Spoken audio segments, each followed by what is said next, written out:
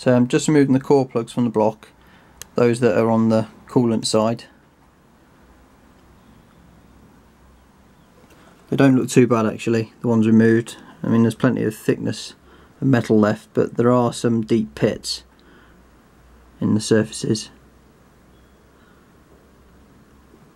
And there's a new one there, ready to go in. So these are domed ones on this engine. So how I'm removing them is so not to damage the block in any way. I think this is the easy way as well is to drill a bit of a hole but not quite all the way through because I don't want to damage anything inside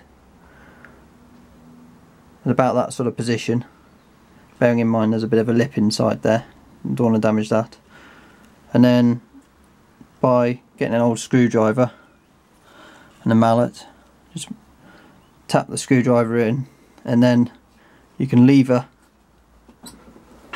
lever the plug out. As so